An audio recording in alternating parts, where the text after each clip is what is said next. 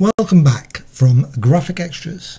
In this tutorial I'm going to show you the Gradient Combo plugin. It's part of the plugin volume 7 set of Andrews plugins for PC and for Photoshop, uh, PSP etc. 32-bit only. Right, just going to quickly show you the basic functionality. It actually works, this plugin, from uh, the foreground and background colour. So it combines, so basically you can set those, course, to any colour.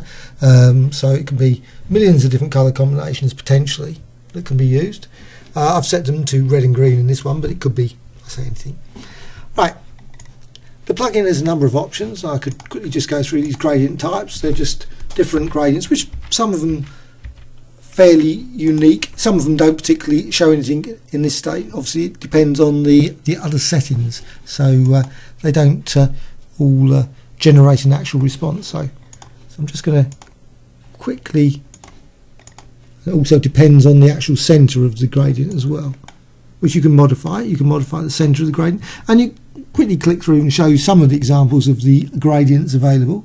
And I'm just going to fire this gradient option down here. So just different gradients that can be uh, generated very quick, which of course you can apply to a, an actual empty image, or you can apply as a, say an overlay or as a, a texture to um, any existing image. Or of course you could apply it to uh, a selection, maybe uh, with uh, text, so you can create interesting colourful effects.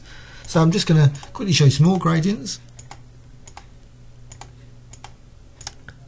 And you can just run through it. There's one, so it's quite so it creates a quick, relatively quick, quick gradient effect, which of course you can combine. So you can now I can go and uh, go back into the uh, plugin, which is found in the AP gradient combo, and well, you can continue maybe creating other gradients.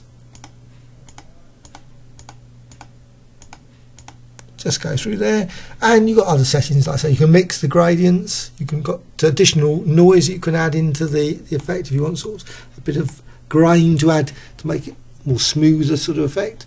Different uh, color spatial effects. Also you can add to the color you can different settings there. The green you can reduce the green as well as applying additional gradients. This is uh, another option you can use is the post processing so I'm just going to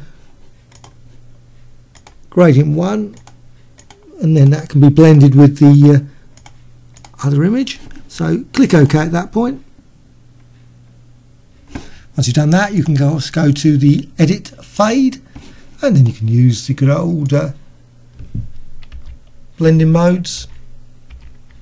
So you can blend maybe difference overlay soft etc go through them all. There's difference so you can create thousands of different uh, gradient designs, which of course you can then use maybe for brushes, you can use patterns, obviously additional filter effects can be applied. They can be used as, this plugin can be used as a smart filter as well. You can just obviously just fire it up as a convert smart filter and the plugin will then be uh, accessible, change, you can change it at any point in the creative process. You can of course move things around at that point then.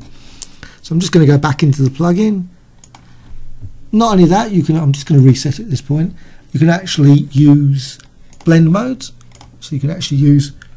These are the uh, plugins internal blend modes and not the Photoshop ones. So you can just create additional interesting color effects. You can also use effects modes where the effect is used as a source for the actual plugin. So instead of actually generating a gradient, it generates a weird and wonderful blur or sepia color effect.